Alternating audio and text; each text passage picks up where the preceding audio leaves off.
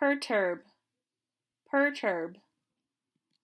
Massage therapy is a popular treatment for relieving stress and pain, but it isn't for everyone.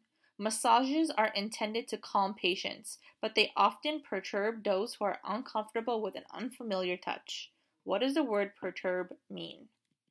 Using context clues, perturb means to make popular, to make unfamiliar, to make uncomfortable, to be relieving. For the question above, the evidence in the passage that supports the answer is massage therapy is a popular treatment for relieving stress, but it isn't for everyone.